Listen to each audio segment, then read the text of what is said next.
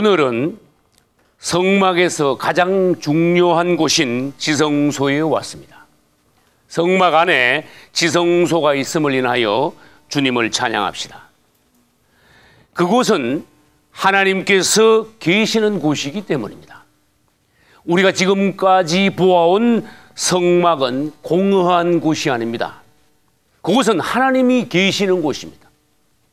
이 성막 안에서도 특별히 지성소에 하나님이 계시는 곳이므로 이 지성소를 문자 그대로 지극히 거룩한 곳. 할렐루야. 그래서 영어로 The Most Holy Place라고 부르는 것입니다. 본래 하나님의 보좌는 하늘에 있습니다. 그러나 하나님께서 출애굽기 25장에서 모세에게 명하시기를 이 땅에 하나님의 집 성막을 건축하라고 명하시고 모세가 성막을 건축한 이후에 지성소에 땅에 그분의 보좌를 설치하시게 된 것입니다. 할렐루야. 그리하여 이 땅에도 하나님의 보좌가 있게 되었습니다. 이 땅에 있는 하나님의 보좌가 땅 위에 있는 하나님의 계시는 곳이므로 중심이 되었습니다. 세계의 중심은 어디입니까? 이 세계의 중심은 현재의 강대국들이 세계의 중심이 아닙니다. 이스라엘이 세계의 중심입니다. 할렐루야. 그러면 이스라엘의 중심은 어디입니까? 예루살렘입니다. 예루살렘의 중심은 성전이며 성전의 중심이 바로 하나님께서 계시는 하나님의 보호자가 있는 지성소인 것입니다. 할렐루야. 그래서 하나님께서는 이스라엘의 모든 남자들에게 명령하셨습니다. 하나님의 보호자가 계신 하나님께서 임재하신 그 예루살렘 성전에 1년에 세 번씩 모여 하나님을 경배하라. 그래서 지성소가 있는 예루살렘 성전은 이 땅에서 경배의 중심지가 되었습니다. 히브리스 8장 5절에 보면은 땅에 있는 것은 하늘에 있는 것의 모형과 그림자라고 말씀하셨습니다. 그렇다면은 우리가 이 성막을 통하여서 한번 다시 살펴보겠습니다. 이 땅에 있는 성막은 하늘에 있는 것의 모형과 그림자라. 이 성막이 있습니다. 성막 중에서도 뜰을 지나 성소를 지나 지성소에 하나님의 보호자가 계신데 그곳은 하늘 보호자, 셋째 하늘에 계신 하늘 보호자를 상징하는 곳입니다. 땅에 있는 것은 하늘에 있다고 하셨습니다. 이 성막 주변을 우리는 세상이라고 말할 수 있습니다. 그리고 이 성막 주변에서 어떤 사람이 문을 지나 성막의 뜰에 들어왔다면 그 사람은 이 세상에서 하나님 앞으로 나온 사람이라고 할 수 있습니다. 하나님 앞에 나온 사람들 중에서 극히 일부분만이 제사장이 되어 성소 안으로 들어가 하나님을 섬길 수 있습니다. 그러나 성막은 뜰과 성소만 있는 것이 아닙니다. 지성소가 있습니다. 할렐루야. 오늘 우리는 히브리서 9장 1절 이하를 읽었습니다. 여기서 하나님께서는 뭐라고 말씀하셨습니까? 지성소가 있는데 이 지성소에는 대제사장이 1년에 한 번밖에 들어가지 못한다. 이 지성소가 있다는 것은 우리가 한편으로 말하면은 천국에 들어가는 것을 말합니다. 다른 한편으로 말하면은 우리 예수님께서 십자가에서 단번에 영원한 제사를 이루시고 하늘 보좌에 들어가 하나님 우편에 앉아 계신 것을 또한 예표하고 상징하는 것입니다. 할렐루야. 다시 한번 성소의 성막 안에 지성소가 있음을 인하여서 주님을 찬양합니다. 이곳은 대제사장이 1년에 한 번밖에 들어갈 수 없습니다.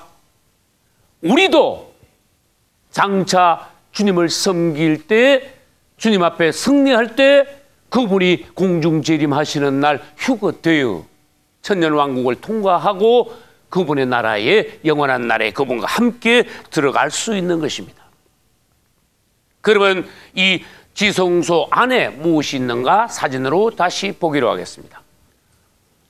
이 물건들은 지성소 안에 있는 항목들입니다. 위에 있는 이 사진을 우리는 법궤라고 합니다. 다음 시간에 우리가 보겠습니다마는 법궤를 다른 말로 하나님의 궤, 증거궤 그런 식으로 언약궤라고도 말합니다. 이 법궤의 뚜껑 부분이 있습니다. 뚜껑 부분을 들어서 내려놓을 수 있는데 이 아래에 있는 그림은 법궤의 뚜껑 부분을 내려놓았습니다. 그래서 이 법궤의 뚜껑 부분을 우리는 속죄소라고 합니다. 다른 말로 시은좌라고도 합니다. 이 속죄소 시은좌 좌가 우리 주님의 보좌의 좌입니다. 그러므로 이 시은좌가 바로 주님께서 임재하시는 주의 보좌가 계시는 장소를 예표합니다. 그리고 주님께서 보좌에 앉아 계심으로 두 그룹 천사가 날개를 펴서 주님을 호위하는 장면으로 이 두 날개를 편 것은 금으로 만든 그룹 천사입니다. 다시 말합니다. 이 땅에 있는 성소, 지성소에 있는 성막 안에 있는 모든 것들은 하늘 보좌에 있는 것의 예표라는 것입니다. 그림자라는 것입니다. 모형이라는 것입니다. 하늘 보좌에서 그룹 천사들이 우리 주님을 호위하고 있음을 이 지성소에서 보여주고 있습니다. 그리고 이 법궤의 뚜껑을 연다면은 법궤 안에 세 가지 항목의 물건들이 들어 있습니다. 만나를 담은 금 항아리, 아론의 쌍난 지팡이, 모세가 하나님께 받은 십계명의 두 돌판이 법궤 안에 들어 있습니다. 우리는 이 모든 항목들이 바로 우리 주 예수 그리스도와 직접 연관이 있는 것으로 알고 그분이 누구신지, 그분이 어떠한 분이시며, 그분이 인격은 어떠하며, 그분의 사역은 어떠한지 성막을 통하여서 특별히 우리들은 지성소와 법궤를 통하여서 우리 주 예수님을 더 깊이 알아야 되겠습니다. 할렐루야. 역사 이래로 수많은 종들이 지성소에 있어 왔습니다. 할렐루야. 역사 이래로 수많은 종들이 지성소에서 그분을 기쁘시게 해드렸습니다. 떨에만 나와도 그분이 기뻐 받으시지만 사실 그분을 실제로 영안에서 지극히 섬기는 자들은 지성소 안에 들어왔을 때 그분을 섬기게 되는 것입니다. 부부간의 가장 깊은 사랑은 어디에서 나누어집니까? 침실입니다. 지성소는 부부로 말하면 침실입니다. 그리스도와 교회가 부부라면 그리스도와 성도 간이 부부라면은 우리는 침실 즉 지성소에서 그분을 섬기고 누려야 하는 것입니다. 할렐루야. 한편 역사상으로 많은 종들이 지성소에서 그분을 섬겨왔는데 우리는 성경 중에서 지성소에 있었던 하나님의 기뻐하시는 자들을 통하여 오늘날 우리도 지성소를 사모해야 하며 우리도 지성소에 머무는 비결을 배워야 되는 것입니다. 많은 그리스도인들이 왜 불행합니까? 예배 잠깐 참석할 때만 경건한 척하고 은혜 받은 척하지만 교회 문 밖을 나가자마자 그들은 세상 사람들과 거의 구별되지 않으므로 그것이 이 시대의 그리스도인들의 불행입니다. 그들은 절대로 하나님을 기쁘시게 드릴 수 없습니다. 그들은 절대로 지성소를 맛보지 못한 사람들입니다. 그러나 누가복음 10장 38절 이하의 베다니의 마리아를 보십시오. 베다니 마리아가 그분을 얼마나 사랑했는지 여러분들은 그 마리아의 중심을 볼 수 있어야 됩니다. 그 당시 이 땅의 모든 사람들보다 베다니의 마리아는 주님의 말씀을 듣기 위하여 그분의 발 앞을 절대로 떠나지 않았습니다. 베다니 마리아가 앉아 있는 곳은 주님의 발 앞이었습니다. 그러나 여러분 영안에서 보십시오. 그곳이 지성소였습니다. 할렐루야. 아무도 그곳이 지성소라는 것을 부정할 수 없었습니다. 하나님께서는 지성소에 있는 사람들을 통해서만 그분이 흡족해 하십니다. 섬김을 받으십니다. 요한계시록 1장에 보면은 반모섬에서 주일날 사도 요한은 부활하신 그리스도를 만났습니다. 그가 비록 유배당하여 험한 섬 반모섬에 가서 육체적으로는 고통의 날들을 보내고 있었지만은 주님은 그의 종 사도 요한을 찾아오셨습니다.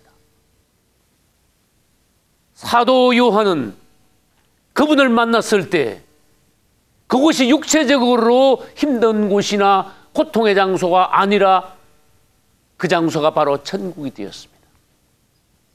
부활하신 주님을 만났습니다. 놀라운 계시를 보았습니다. 요한 계시록을 보았습니다. 그리고 계시록을 기록했습니다. 여러분 계시록을 읽어 보십시오. 사도 요한이 얼마나 놀라운 계시를 받고 성경을 결론을 내리는 하나님의 축복의 말씀을 듣고 장면들을 보았는지. 그러므로 우리는 결론을 내릴 수 있습니다. 사도 요한이 주님을 만난 밤모습 바로 그 자리는 유배의 장소가 아니라 지성소였다. 할렐루야. 고린도후서 12장 2절 이하에 보면은 사도 바울은 자기 자신이라고 말하지 않고 겸손하게도 내가 어떤 한 사람을 안다 그랬습니다. 그 자기 자신이었습니다. 그가 14년 전에 셋째 하늘에 올라가 말할 수 없는 말을 들었다. 사실은 또 말할 수 없는 것을 듣기만 한 것이 아닙니다. 보기도 했습니다. 천국을 갔다 오니 도저히 표현을 할 수가 없습니다. 인간의 언어로는 전혀 이것은 표현이 안 됩니다. 그래서 말할 수 없는 말을 들었다고 했습니다. 사도 바울은 얼마나 큰 종이었습니까? 셋째 하늘까지 이끌려 갔다 온 하나님의 놀라운 그 시대의 종이었습니다. 그가 갔다 온 셋째 하늘, 바로 지성소에 갔다 왔습니다. 우리는 땅에 있지만, 오늘날 그리스도인으로 살지만, 이 땅에서도 지성소를 체험할 수 있다는 것입니다. 할렐루야. 이 땅에서도 가장 깊이 그분을 만나고 섬기고 누리고 할 수 있다는 것입니다.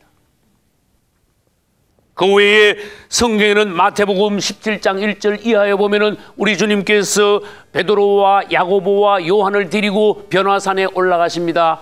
거기서 그분은 그분의 본래의 영광의 모습을 보여주셨습니다. 놀라웠습니다. 베드로는 얼마나 놀랐는지 주여 여기가 좋사오니 그랬습니다. 왜? 바로 그 천국 같았었거든. 그분의 영광, 실상의 영광을 보는 그 장소가 누구나 지성소가 된다는 것입니다. 창세기 18장으로 넘어가 보겠습니다. 아브라함의 장막이 오늘날로 말하면 흐름한 텐트가 아니었겠습니까? 그러나 창세기 18장의 그 당시 이 지구상에서 가장 거룩한 곳이 그 흐름한 아브라함의 텐트였습니다. 성경에 의하면 아브라함은 장막을 치고 그 장막 앞에 단을 쌓고 여호와 이름을 불렀다고 했습니다. 그러므로 그 당시 아브라함의 장막은 이 땅 위에서 가장 귀한 곳입니다. 하나님이 기뻐하시는 곳입니다. 할렐루야. 그러므로 하나님께서 두 천사를 대동하시고 아브라함을 직접 찾아오신 것입니다. 여러분 놀랍지 않습니까? 하나님께서 아브라함의 장막을 찾아오셨다니까요. 그러면 그곳이 지성소가 아니고 무엇입니까? 아브라함의 장막이 바로 지성소가 되었습니다. 할렐루야. 그리고 출애굽기 19장에서 모세는 출애굽한 백성들을 데리고 시내산 밑에 도착했습니다. 백성들은 산 아래에 있었지만은 모세는 산 꼭대기 올라가 40일 동안 금식하며 하나님을 만났습니다. 하나님께서 그때 많은 말씀을 하시며 많은 것을 보여주시며 특별히 가장 중요한 요즘 지금 우리가 공부하고 있는 성막에 관한 계시를 그때 보여주신 것입니다. 할렐루야. 그 하나님을 만나고 내려온 모세의 얼굴이 어떠했는지 여러분 아시지요? 하나님의 영광을 보고 지성소에 들어갔다 왔으므로 하나님의 빛이 모세의 얼굴에서 빛났습니다.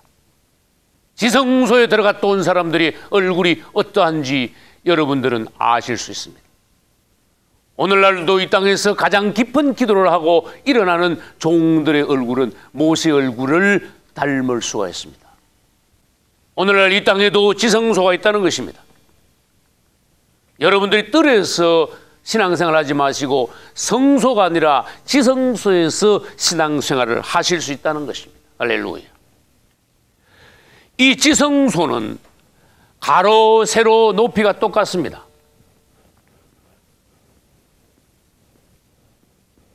(10규빗) (10규빗)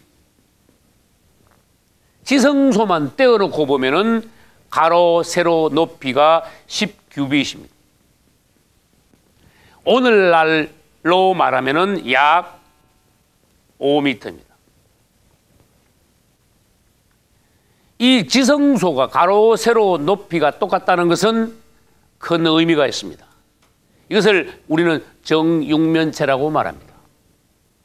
여러분 어떤 방이 있는데 방의 가로와 세로와 천정 높이가 똑같이 5m짜리 방을 여러분들이 상상해 보시기 바랍니다. 정육면체는 성경에서 완전한 하나님의 정의, 평화 이런 것들을 예표하고 있습니다. 그리고 이 지성소가 가로 세로 높이가 똑같은데 성경 마지막 계시록 21장에 가면은 새 예루살렘도 가로 세로 높이가 똑같이 1만 2천 스타디온이라고 하셨습니다. 그럼 여기서 우리는 무엇을 알 수 있는가 하면은 새 예루살렘도 가로 세로 높이가 똑같이 1만 2천 스타디온이라면은 새 예루살렘도 정육면체입니다. 그러면 새 예루살렘은 이 땅의 성막에 있는 지성소의 확대라는 것입니다. 이것은 무엇을 말합니까? 새 예루살렘은 확대된 우주의 지성소라는 것입니다. 할렐루야. 우리가 앞으로 새 예루살렘 성에 들어간다는 것은 영원한 우주의 지성소, 하나님이 계시는 곳으로 들어간다는 것을 예표합니다. 천년 왕국에서도 우리가 성 안이 있고 성 밖이 있습니다. 여러분들이 신앙 이긴다면 이 시대의 지성소에 있는 성도들은 오는 세대에서도 천년 왕국의 성 안과 세루살렘의 지성소로 예표된 성 안으로 들어갈 수 있다는 것입니다. 할렐루야. 성막에서 여러분들 아까도 말씀드렸습니다만은 성막은 뜰이 있고 성소가 있고 지성소가 있습니다. 사람의 몸을 이것에 비유한다면은 육이 있고 혼이 있고 영이 있습니다. 여러분 뜰을 지나 성소를 지나 지성소에 들어간다는 것은 우리가 육적인 신앙생활에서 혼적인 신앙생활을 통과하여 영 안에서 신앙생활 하는 단계를 나타내고 있습니다. 그래서 이 지성소와 우리의 영과 대치가 됩니다. 우리가 거듭난 그리스도인이라면 우리의 영 안이 지성소가 된다는 것입니다. 할렐루야. 왜 그렇습니까? 지성소는 하나님의 임재의 장소입니다. 우리가 거듭난다면 우리의 영 안에 그분의 임재가 있게 됩니다. 우리 영 안에 그분이 오시게 됩니다. 고린도전서 3장과 6장에는 똑같은 비슷한 말씀이 계십니다. 너희 몸은 하나님의 성전인 것과 하나님의 성령이 너희 안에 거하시는 것을 알지 못하느냐. 우리 몸이 성전이라면은 우리 몸 중에서도 거듭난 영 안이 하나님의 보좌, 하나님의 임재가 계시는 곳입니다. 우리가 거듭남으로 우리 자신을 우리의 영 안을 하나님이 계시는 지성소로 만들어야 됩니다. 할렐루야. 이 성막에서 뜰에서는 대단히 분주합니다. 그러나 성소 안에 들어가면은 분주하지 않습니다. 지성소 안에 들어가면 거의 할 일이 없습니다. 여러분 대제사장이 지성소에 1년에 한 번 들어가서 거기서 1시간, 2시간, 몇 시간을 바쁘게 일하다가 나오는 줄 아십니까? 아닙니다. 거의 지성소 안에서는 할 일이 없습니다. 그러나 오래 머뭅니다. 주님의 임재 앞에 그냥 머무는 것입니다. 그분의 임재를 누리는 것입니다. 영 안에서 그분을 섬깁니다. 그분과 영 안에서 교통을 하는 것입니다. 여러분 부부가 침실에서 사랑을 나눌 때 말이 많이 필요합니까? 우리가 그리스도와 가장 깊은 지성소에서 교통할 때에 말이 많이 필요 없는 것입니다. 그것은 베다니 마리아를 생각해 보시면 알 수 있습니다. 신약에 와서 이 지성소의 특이한 일이 발생했습니다. 마태복음 27장 51절에서 예수께서 십자가에서 운명하시는 그 순간 성소와 지성소 사이를 갈라놓은 휘장이 있습니다. 뜰에서 성소에 들어가려면 휘장이 한 번 있고 성소에서 지성소를 들어가려면 휘장이 또 한 번 있습니다. 예수님이 십자가에서 운명하시던 그 순간 성소와 지성소 사이의 휘장이 위로부터 아래까지 찢어졌습니다. 주님을 찬양합시다. 이것은 무엇을 말합니까? 히브리서 10장 20절에 의하면 이 휘장이 그리스도의 육체라고 말씀하셨습니다. 그분은 십자가에서 그분의 몸을 찢으심으로써 성소와 지성소 사이의 휘장도 찢어졌습니다. 성소와 지성소 사이의 담이 흐려졌다는 것입니다. 이것은 하나님과 사람 사이의 담이 흐려졌다는 것을 또한 예표합니다. 할렐루야. 이전에 십자가 이전에는 하나님과 죄인들 사이에 엄격한 담이 있었습니다. 사람이 절대로 하나님 가까이 접근을 할 수 없었습니다. 그러나 그리스도의 십자가 이후로 속죄의 제사가 완성이 되었으므로 누구나 하나님 가까이 할 수 있게 되었습니다. 예수 피 공로로 십자가의 공로로 예수 이름으로 할렐루야. 그래서 에베소 2장 14절에서 중간에 막힌 담을 흐르시고 둘로 하나를 만드셨다고 하셨습니다. 주님께 감사드립니다. 오늘날 우리는 성소에 들어가면은 바로 지성소에 들어간 것입니다. 우리가 신앙생활 할 때 과연 내가 어디에 있느냐?